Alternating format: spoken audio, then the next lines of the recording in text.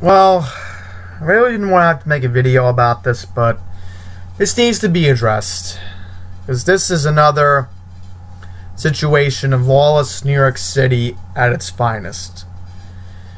I was able to get word from Andy Quinto, along with Cuomo Corruption, that uh, we had this happen. Yes, that's right. Mentally ill person using a knife trying to cut open an accordion bus. And I'll show you what the model is later on in this video because we're going to get to the Twitter clips from the user at VX Katelyn. And uh, thanks to her for pointing this out there because this is now going to get old. This is probably viral by now. if it's not, then I don't know because I'm I'm just distraught. I'm just distraught that I'm literally seeing Manhattan get torn down like this. And again, this is coming from somebody who was a who is a lifelong New Yorker, who was a millennial, and has seen New York in its strong days in the 90s and 2000s when I was a kid. Okay, I literally do not recognize Manhattan right now. Everything I know about Manhattan is gone. I'm sorry for rambling, but Second Avenue in Deli moved, which that's one thing. I'm, I'm sorry to bring that up randomly. Ray Bari is closed. And now I have to deal with these mentally ill people all over the place, and now they're being reported. And in case if you don't know what Ray Bari's Pizza was, we have one in Fresh Meadows too, but the main location was in Manhattan. But oh, and Bruce's was in Manhattan too. So as I said, I'm not recognizing the borough that literally, literally, I tell people Manhattan's like my second borough from home. Like it still is to this day. I love Manhattan, but lately Manhattan's going against me, and and that's not fair. It really isn't. So let's let's read on. Video shows a man clinging to the top of an MTA bus near Union Square, stopping at the bus with something being yanked down and being restrained by New Yorkers. The crowd yelled that the man had a knife. Several NYPD officers then arrived on scene. A witness who shared video of Pix 11 said the man blocked the M15 which was heading south towards South Ferry, so the driver told the man to move. He started up, slicing up the bus, acting crazy, the witness tweeted. NYCT Subway actually replied to the tweets. And of course, cops are not going to give any information because, again, that's not important. I don't think that's important. So the video is the most important thing. So let's watch the videos. I've censored out the audio, and uh, we'll get to what bus was involved in just a second.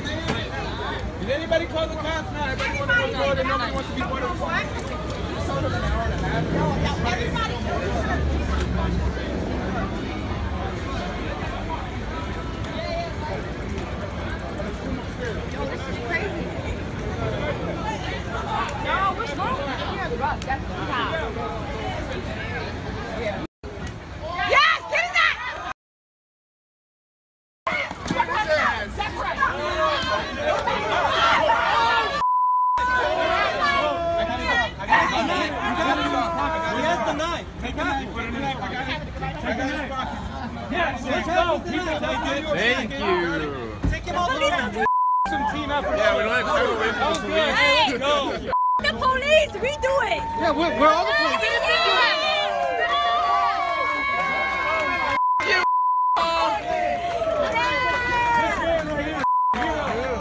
Yeah, my man, taking care of business. We do it. TC. Yeah. Let's get back on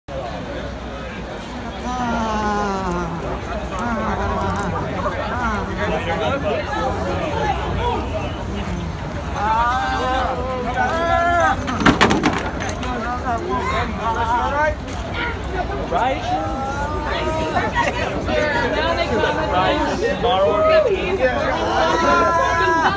So you clearly saw the video. It was disgusting. What um, what happened? But we're gonna get into more details about what bus route was involved and where this bus originally came from. So pretty much, this is the depot that um, is responsible for running the M15 uh, select bus. So this depot, Mother Clara Hale, is located in Harlem, 721 Lenox Avenue.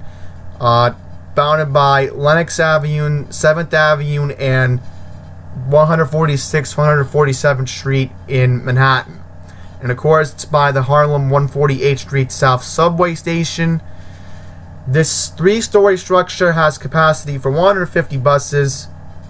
This depot is named for uh, humanitarian Clara Hale. And again, I know this depot very well because this also serves the M7 route that goes along uh, 6th Avenue in Midtown. And uh, once again, this runs the M15 because I know for a fact uh, Manhattanville, they run the M5 route. So that's why, again, and again, I, I've ridden the bus, I've only ridden, again, the only bus routes I've ridden in Manhattan the M5 and the M7. Just to get on, just to get on 6th Avenue. Because it was cheaper and you wouldn't take a taxi. Take a taxi. Yeah, get ripped off by those yellow caps. Give me a break. Uh, don't, get me started on them. So anyhow, um, the number you saw um, was 1237, and I'll zoom in. So again, any mobile phone viewers, you can see this for yourself. So let's just be careful not to scroll down. See, I scrolled down and I lost it. I lost it. Do apologize. So the uh, bus involved was a 2010 Nova Bus LFS Artic, and uh, this is an articulated bus. And again, I know this bus very well because I've tried recently, you know, trying to get a lot of these LFSs. I'm trying to do future videos where I film from the back window. I know a lot of people do Long Island Railroad, but I want to film from the back window in the future because, you know, it's an interesting experience. Sure, the New York City bus logo was there, but they could remove it. That would be great because that would be excellent for us bus fanners to get that back view. But anyhow, um, 1237, 50 buses are uh, in service, and unfortunately, this poor bus didn't deserve what was coming towards it. It was accordion, and again, these buses are only what nine years old, and they got tortured. Completely unfair. Completely unfair. So now I'm going to show you. Um, I'm to show you this. So this was a schedule I was able to find of the M15 bus, which we're not going to read, but I want to show you how you know agonizing this route is. So pretty much, this is a route that goes from Allen Street by First and Second by Houston, and what's very unfortunate about this route is it's a long route. You're coming all the way from Harlem, okay? So you have to come all the way from Harlem by 126th Street where the bus route starts and ends. Then you gotta go all the way down. And thankfully, you know, gets to all the major bus routes in Manhattan. That's the good thing. I know this goes by the M86, which the M86 by First Avenue, you know, you go by this route, guess what? You actually go by the M31 on uh, think it's York Ave. Yeah, it's York Avenue. I forget what the other street is by Carl Schurz because there's First Avenue and then there's another block that you have to walk to get to it. But anyhow, look how agonizing this route is, all the way to South Ferry. You know how agonizing this route is. You know how agonizing this route is. And then, especially how it links up to the L train. So, not enough the driver has to deal with agonizing route. To deal with a mentally ill person is just getting a whole lot worse. And I gotta show you all what I saw on Union Turnpike today while I was waiting for the 88 to Elmhurst because literally we're getting so many Creedmoor vagrants, and that's what they are. All right, they should be locked up for the locked up and not let out during the day. I don't know why they let out. Sorry to call Creedmoor out, but I'm going to show you how disturbing it, the Union Turnpike and Springfield Boulevard's getting. It's bad enough we had the fight there a couple weeks ago. I'm not going to talk about it. Let me just show you how bad things are getting, and then we're going to talk about again speaking up and doing what those people did. I'm gonna I'm gonna make I'm gonna end the video on that point. So just watch and see what happened today while I was waiting for the 88 to Elmhurst. Guess what, folks? We got a vagrant. Here he is, Union Turnpike and Springfield Boulevard. Yep. telling you, this area, this area is just declassified because they want to dump everything in Queens. Look at this guy. He's not even dressed for the weather. Clearly tell he's homeless. So once again, you see there a vagrant, a vagrant, somebody who, who doesn't belong out in the streets. Again, that guy looked mentally ill. He looked mentally ill. Okay? Alright? He wasn't dressed for the weather. I said that in the video. And it's just disgusting what I have to see. Especially, the, they're, they're always targeting Jamaica. Because, again, Jamaica is a minority community. It's not lily white like Little Neck or Douglaston. So they're going to dump the problems there. That's what's going to happen. And recently there was a burglary in Little Neck Douglaston. I'm not going to get into it. But, you know, the problems are going to spread everywhere. Okay? And I also mentioned I, I couldn't film because the guy was getting too close to me. While I was waiting for the Q30 bus on Archer Avenue back on Tuesday, and mentally ill guy, he, he's jumping all over the place. He's acting crazy. He he's literally annoying the other people besides me who were waiting for the Q30 Q31. And then shameful on NYCT to not tell people. And again, the driver should be telling the passengers. They haven't done this in weeks that the that the route's detoured due to, you know, what I did. You can thank me again for getting the 3031 detoured in Queens along the Q17 route. You know, making sure that we prevent congestion. And again, we can't always prevent congestion. I know I'm rambling on. But again, I'm not seeing things get any better here in the city. I'm not. Alright? now I'm not seeing it getting better either in Long Island either. With Pine Power Allies videos. I have mind battle on the city. And those people, I'm going to commemorate them. They deserve a big congratulations. Okay? They deserve a big congratulations for taking a stand. Because again, you know what the police the police are too politically correct. They don't want to do their jobs anymore. When Giuliani and Bloomberg were the mayor, they used to be able to do whatever they want. They want to beat the crap out of someone, they used to do that. I was fine with it. You know, I used to see crazy people in Manhattan. Like not all the time, but when Giuliani and Bloomberg, when they when somebody acted all rational, they just kicked the guy. They kicked the living crap out of the guy. And now they're afraid to do it. They don't want to do it anymore. They're too afraid that, pierce by little Jamie Neal. Sorry to call him out, but his police department should should know better. But again, no, he's afraid he could lose his job, and if something happens, De Blasio could terminate him. So that's why, literally, James O'Neill's been a cop for like 30 something years. And, and again, I'm sorry to ramble on. I'm sorry to ramble on. Even though, again, I have the New York City skyline. But we're in a fight for our city, folks.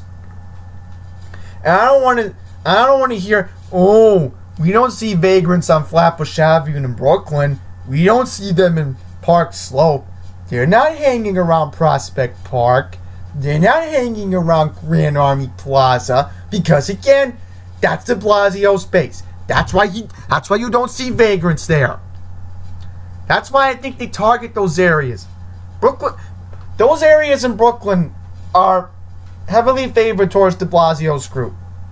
Always have, always will be. Just like how Lower Manhattan, that's another thing. Why don't you see any vagrants by Wall Street or the World Trade Center? Oh, That's why, because de Blasio cares about Lower Manhattan. That's his base too. Again, he wants to dump them all over Midtown, and that's his job. That's why you see more homeless people in Midtown. And, and same here in Queens. They're, they're all over the place. Sometimes they even come to Fresh Meadows. I think I got it on Snapchat like a year or two ago. That homeless person was right in front of the church on 188th and 73rd Avenue. So again, the problems are spreading. And they're even impacting our parks. That the homeless person that still hangs around Cunningham Park, he's still there. I saw stuff by the restroom today while I was on the 88 to Elmhurst. So I'm not making this stuff up, folks. We gotta start we gotta start documenting. We gotta start showing the world what's happening here in New York City. We are facing a crisis. And again, that user, I'm gonna I'm gonna give her name out right now. I have her name if I can get it up. VX Katelyn. K A T E L Y N. We're in a fight for our battle right now. We need to take action on our own if it keeps getting worse. We have to start being our own representation. If we see something, we have to do something. That's what Bloomberg told us to do.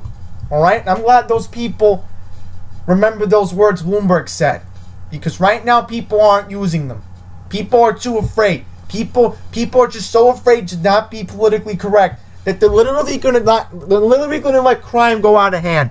We can't treat this like a politically correct issue anymore. We have to start waking up. We have to go back to the Giuliani Bloomberg safe era we had in the city. Sorry to, again, get all emotional about this. But we're in a fight right now. We must take a stand. I love this city. I was born and raised here. I don't want to leave Queens anytime soon. I'm desperate to do, do anything I can to stay here. But again, if it keeps getting worse, I'm really thinking of getting the hell out of here. If it keeps if it keeps getting worse, if it keeps getting worse in the next, I'd say two to three years, I may have to go out of here. I may have to go somewhere safe and, and, and learn a new lifestyle if it keeps getting worse. So, let's hope that our city can be saved. We can be our own representation. We can do what's right. We can bring back common sense. Because, again, political correctness is just ruining common sense these days. I'm sorry to say it. But if YouTube's gonna demonetize this video, I don't care at this point. So that, gonna wrap it all up over our glorious New York City skyline. Skyline that I love. Skyline that I could always wish and see and die out with. Still hope I can. You know? And again, this is coming from a native New Yorker. I love it. I don't want to leave it. Thank you all for watching, and once again, remember, the fight continues.